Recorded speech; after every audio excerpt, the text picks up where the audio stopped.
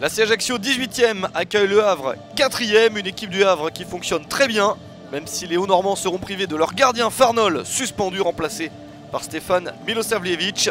La Ajaccio de son côté voudrait sortir de la zone rouge. Pour cela, il va falloir s'imposer, mais il n'y a eu que 3 victoires cette saison, plus une en Coupe de France, une victoire 1-0 à Volvic, équipe de division d'honneur. La Ajaccio est donc qualifiée pour les 16e de finale de la Coupe. Une équipe de la Ajaccio privée de Lipini et Sainetti toujours suspendus. Scribe et Vincent sont blessés, mais ce sont bien les Corses qui prennent des initiatives. L'ouverture du score est très belle, elle est signée Riyad Nouri à la 18e minute. Une très bonne entame de match pour l'équipe d'Olivier Pantaloni. Troisième but de la saison pour Riyad Nouri. C'est une très bonne situation pour la Ajaccio. L'équipe du Havre n'est pas bien rentrée dans son match. Et Nouri en profite parfaitement.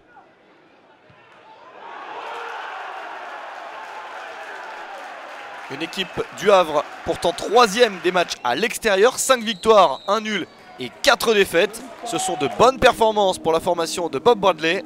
L'entraîneur américain espère bien autre chose que cette défaite à la mi-temps. Il n'y a eu qu'une seule défaite sur les 10 derniers matchs pour les Ciels et Marines. Ils doivent faire une bien meilleure seconde période. Et c'est le cas en jouant un petit peu plus haut.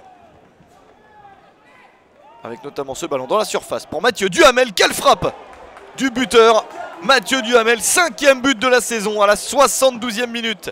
C'est l'égalisation du hack. Bob Bradley avait procédé à deux changements à la pause. Jean-Pascal Fontaine avait remplacé Dylan Wisser. Gislain Gimbert avait remplacé Harrison Manzala. Peut-être une conséquence de ce coup de coaching. Le but de Duhamel qui pèse lourd dans ce match puisqu'il n'y aura pas d'autres buts malgré ce dernier coup franc de la C Ajaccio. Et au final, un but partout entre la C Ajaccio et le Havre.